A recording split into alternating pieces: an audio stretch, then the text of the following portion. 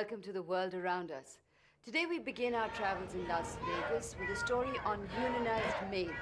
From there to England and the new phenomenon of freelance priests, then to Australia and a look at how the backwoods get reported, from there to Boston and the problems of stressed out children, and finally to Turkey and a story on camel fighting as a spectator sport. Mention Las Vegas and what you think of immediately are the bright lights of casinos and hotels that cater to the thousands who come to this gambling town to try their luck at the tables. But behind the bright lights is another story. A story of maids who keep these hotels and casinos running, but who generally stay in the background, unseen and unheard. These women are now discovering their power, and they are expressing it through unions that have made them a force to reckon with. Let's take a look at Las Vegas behind the bright lights. Las Vegas, Nevada, the gambling capital of the world. Over the past six years, there's been an explosion in Las Vegas. A population explosion. The growing appetite for gambling has made Las Vegas the fastest growing city in America. Tens of thousands of people have migrated here in recent years to build and to work in the scores of hotels and casinos that have gone up and are going up along the famous Vegas Strip. Hey, good morning, everyone. Please hold it down so people can hear their names. Thank you. Most end up at the local union hall, where they wait for a lead. I have flamingo. Do you want to go? Yes, ma'am. An opening for a cocktail waitress at Caesar's Palace. I'll try Luxor. Or a bellhop at Bally's. Porter. Good luck to you. With almost 100,000 hotel rooms in Vegas, there is plenty of maid work available. We always keep that cot here in the door like this. And if anybody come up, you talk to them across the cot with the door open. Hattie Canty began working as a maid 21 years ago. Back then, the only training maids received was on the job. Today, maids learn the tricks of the trade at a special school that prepares them to work in Vegas hotels. You get an A, okay? Canty takes a particular interest in these students. Don't worry, honey. You got what it takes to make it. She's now the president of Local 226 of the Culinary Workers Union, which runs the training school. And there's a lot of good employers out there, okay? And you're going to get a good job, you're going to do well. The training school is Canty's pride and joy, a chance to help women get off welfare and into the workforce. It's a choice Canty had 21 years ago after her husband died, leaving her with eight children to support. After he died, I had a big decision to make, and that decision was am I going to be able to go out and cope in the work world? Uh, would I be a better mother if I sit home and I wait on welfare? And I made up my mind that I would go out and get, I'd get me a job. A union job that paid twice as much as welfare and came with a pension and health insurance. Hey, sir, you yet a scab. You yet a scab for going up in that scab joint. Canty has gone from making beds to making trouble for hotel and casino owners in Vegas. Strike here, folks. Why don't you go somewhere else? Please pass it on by. Pass it on by, ma'am. Vegas is a union town. Hattie Canty's local alone has almost 40,000 members, making it the largest private sector local in the country. And when it needs to, Local 226 flexes its muscles. Thousands of union members virtually shut down the Las Vegas Strip in a massive demonstration against the Frontier Hotel.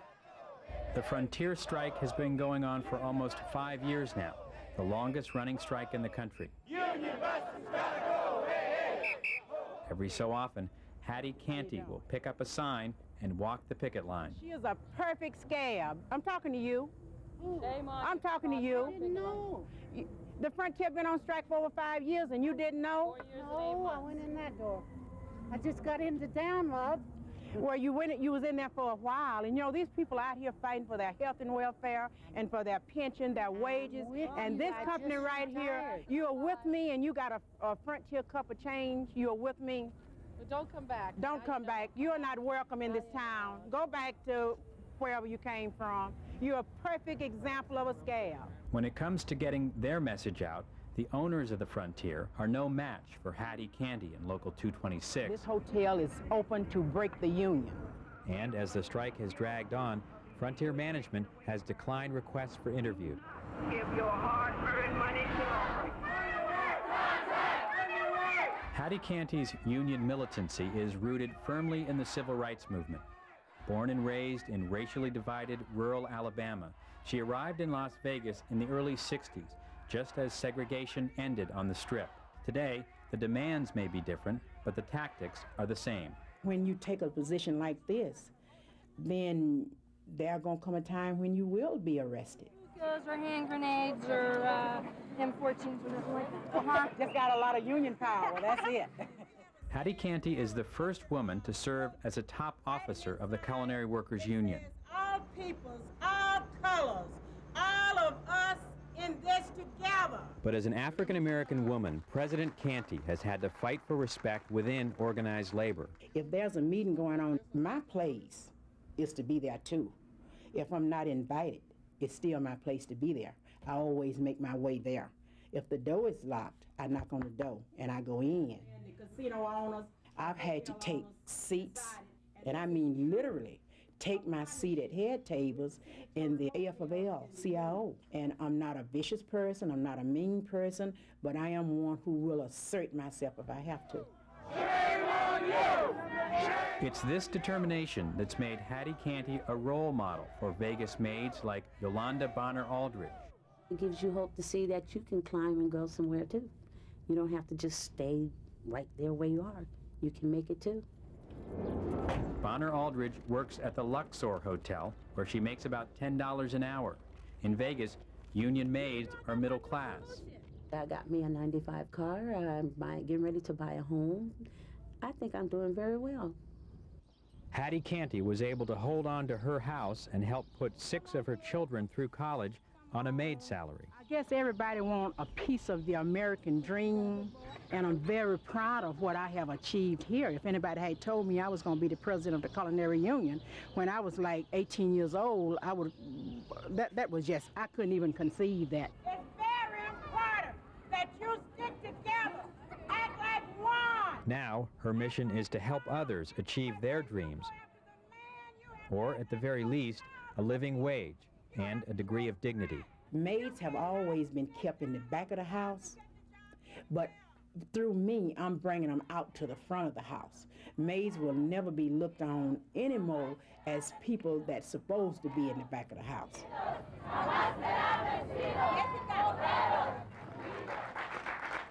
Maria Angiano. It's graduation day for the women who completed their training at the maid school.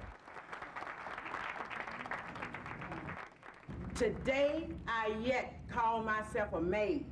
Union president and union maid Hattie Canty gives the commencement address. I'm really proud of the work I did out there in those hotels as a maid. I'm happy with Hattie. Hattie have did great things out there, and I'm a little country girl from Alabama. I believe in this union. I don't have a husband. My baby's 27 years old, and this is my thing now. This is my family. This is my life, and I'm gonna give it all I got.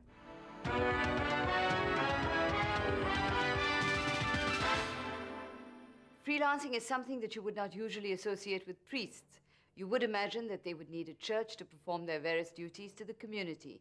But the needs of modern times are strange, as we see in this story from central England, where nearly a dozen Church of England vicars have opted for freelancing to perform weddings and baptisms. The Reverend Sturge Artis is an uncommon kind of vicar, and not just because he polishes his own ceremonial brass. Unlike his colleagues, he has no church, and his parish is a movable feast. He goes where the customers are. When duty calls, Artis packs up his portable altar and processional cross and sets off to minister. He's one of about a dozen Church of England vicars who've waved goodbye to the Anglican establishment and opted for the freelance life. I suddenly discovered that the the demand for the kind of work that I was uh, proposing to do was absolutely amazing, and I was just showered with requests. Although this is serious business, some of the requests can be pretty bizarre. In the bar of a social club in central England, as the beer flows freely, Artis prepares to conduct the wedding of a couple nostalgic for the ways of the old Wild West. Rattlesnake Annie, will you take this man to be your lawful wedded husband, to live together according to God's law in the holy estate of marriage? Will you love him, honour and keep him, and forsaking all others, be faithful to him so long as you both shall live? I will. So were you happy with the way things turned out? I was overjoyed. It was excellent. The service was brilliant, and our friends and that, which we call family, because we are like a family here, aren't we, love? For the vicar, that kind of verdict makes it all worthwhile. The local bishop has been uh, opposed to me in every possible way he can writing to all the undertakers, telling them to boycott my, my uh, services and uh, denigrating me in the press, saying that I'm blackening the good name of the church. Uh, that was when I'd uh, done a baptism in a pub. And uh, I reminded, the, through the press, I reminded them that Jesus was born in the stable of a pub. And if it hadn't been full, he'd have been born right inside the pub. And if it's good enough for his birth, surely it's good enough for a baptism.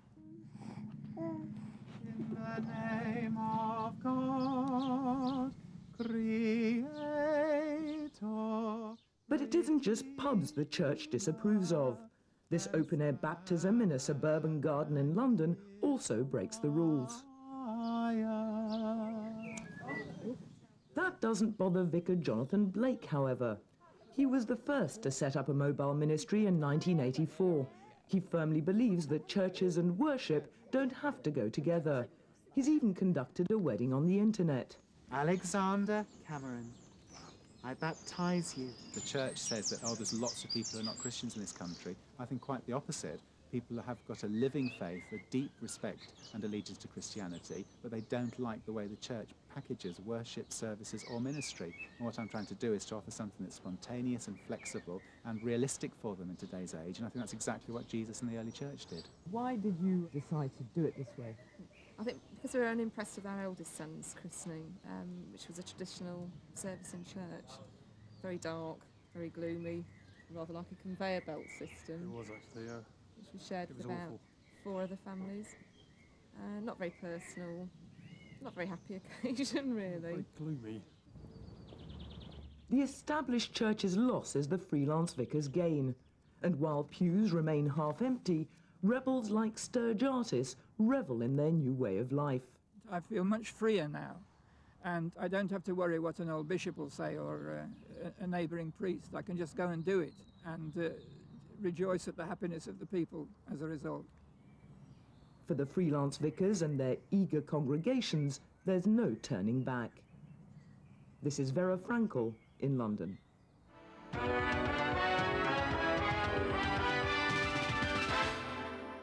The Australian outback is a vast hinterland which remains a mystery to even most Australians, since 80% of them live in cities.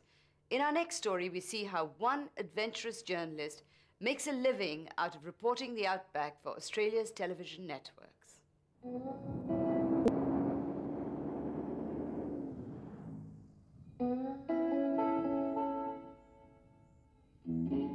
The Australians call the Northern Territory Never Never Land. Surrounded on all sides by thousands of miles of desert, Alice Springs is the only city in the region.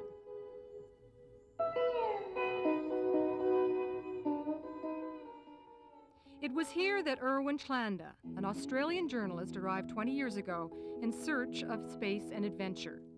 He is the only regular correspondent that Australia's four television networks have working for them in the outback. Uh, some 80% of Australians live in the big cities.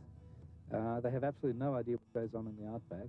And I'm privileged and we're privileged to bring some of the topics that are so important and so interesting and so fascinating from this region into the cities, which are so similar to Europe and America. Because he covers a vast area, Erwin flies from one story to another. Often he spends six hours a day in his plane, sometimes filming at the same time he's piloting the plane.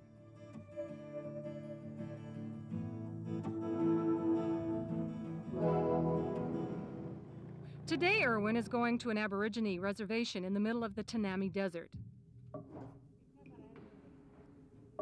The 800 inhabitants here are virtually cut off from the outside world. But recently, the government installed a satellite dish that now makes it possible for Aborigine school children to attend class. Seven. Erwin's story will be about the advantages and disadvantages of this technological feat. Did anyone not get zero?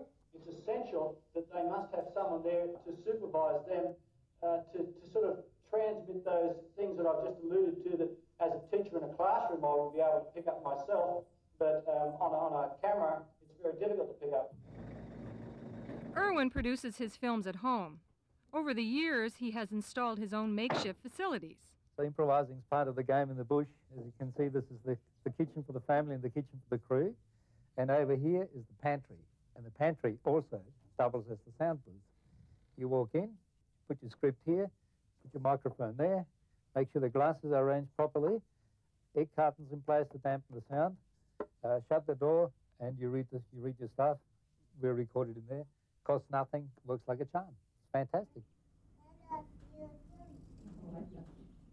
Erwin's wife, Karen, helps him edit the films.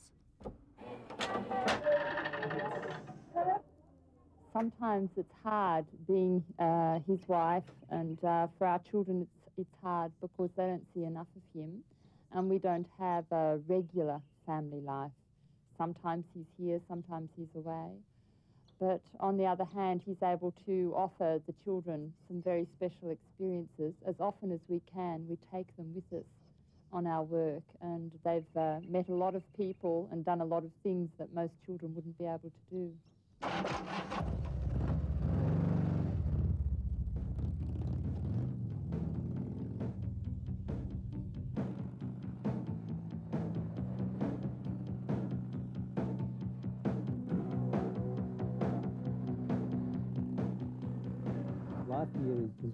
Because there's a lot of space. Um, people are not sitting on top of each other. So if you like people, you, you keep that company. If you don't like people, there's plenty of uh, space to get away from them. I think this is what makes life great. There's a lot of personal freedom. They do things their own way in the Northern Territory. To raise money for charity, Alice Springs residents put on an annual boat race. But because the river runs dry here almost all year, it's a bottomless boat race. Erwin's films have helped popularize the event, which now draw participants and spectators from all over Australia. This year, a storm blew up the night before the race. By morning, the river had flooded. The regatta was canceled for the first time in its history because there was actually water in the river.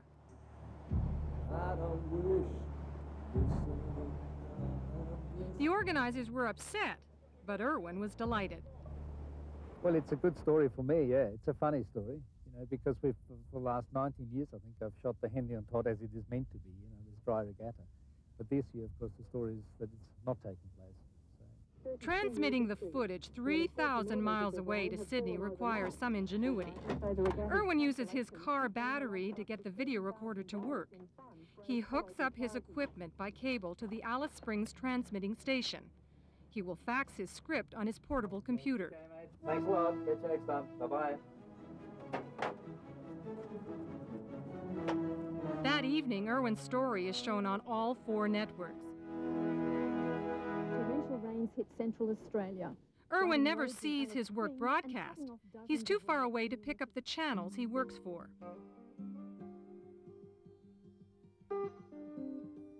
It's his only regret. He wouldn't change his job for the world.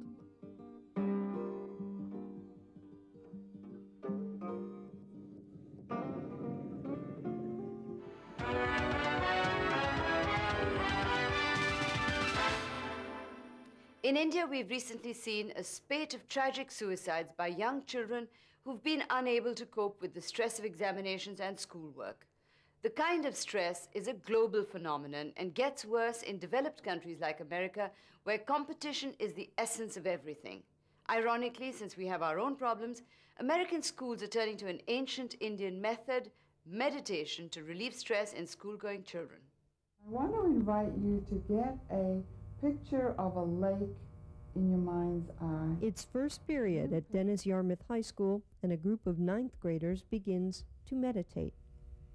You wouldn't think that kids would need to be taught how to relax and act like kids, but for these 14 year olds like Abby Seaman, the stress of their daily routine is overwhelming. There's like 20 different people asking and wanting and like demanding so much from me, like teachers and parents.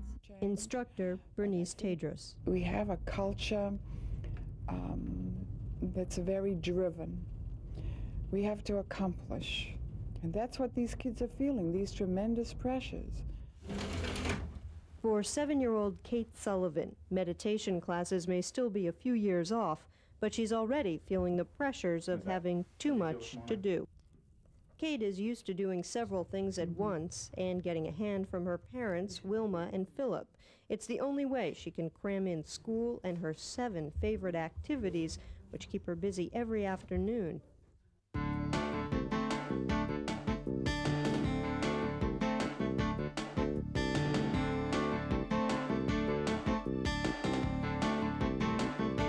I'm energy girl.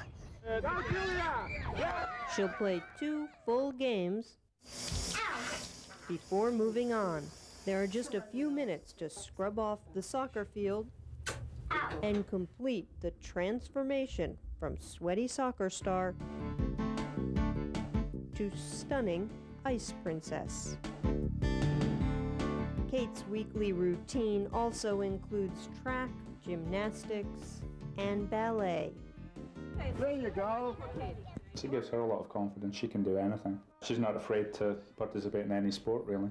You know, if she wants to do it, she can do it. If not, she doesn't have to. I do. You, You do? do. Okay. I'm not sure that seven-year-olds know exactly what they want. Certainly older kids and, and adolescents can make these decisions.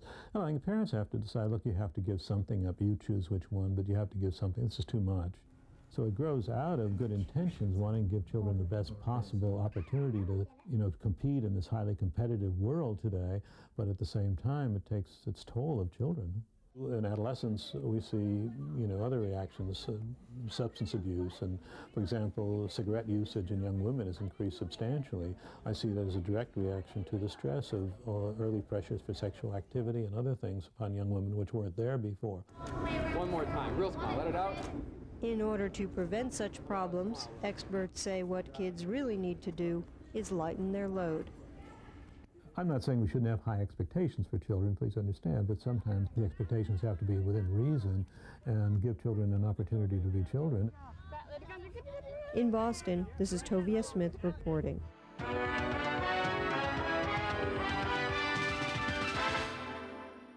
Finally, to the ancient town of Ephesus in Turkey, where camels are more than beasts of burden, they are prize fighters.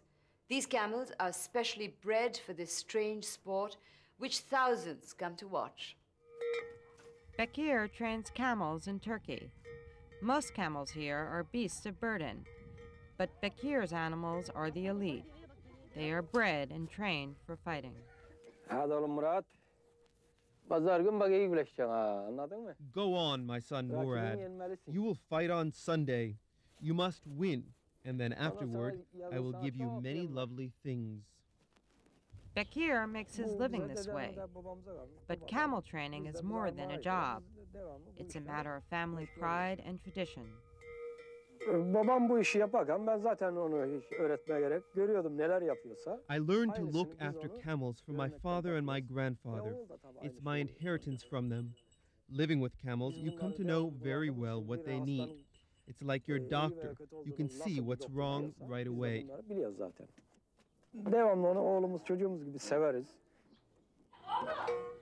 Bekir's prize camel is nearly ready for a big fight.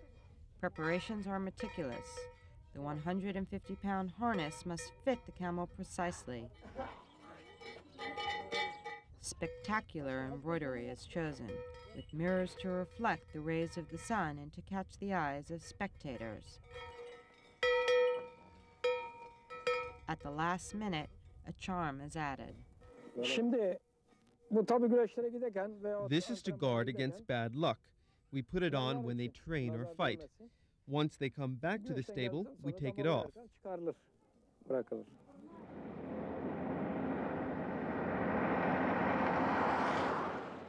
Bekir is now en route to a prestigious camel fight in the ancient city of Ephesus. Ephesus celebrates for three days before the fight. Bekir and other camel trainers parade their animals through the streets. The crowds watch and try to guess which camel will win. Officially, there is no betting. The camel trainers only hope for the honor of winning.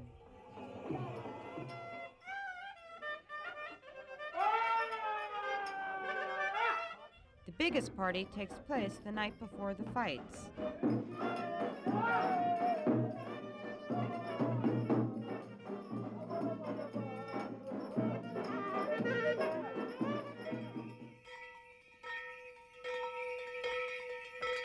In the morning, Bekir arrives at the ancient arena. Today's contest will draw more than 20,000.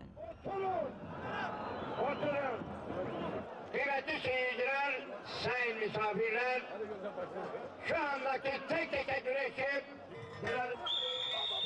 40 fights take place. Each one will last for 10 minutes. The aim? To humiliate the adversary by bringing him to his knees. Bekir's camel has won.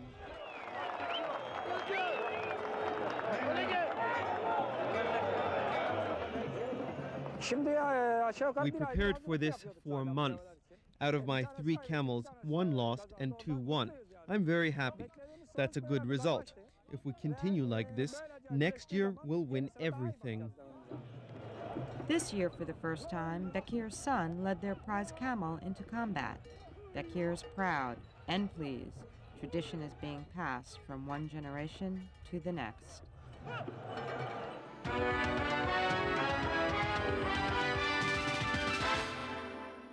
That's all this week. Do join us next week, same time, same place, for another trip around the world around us.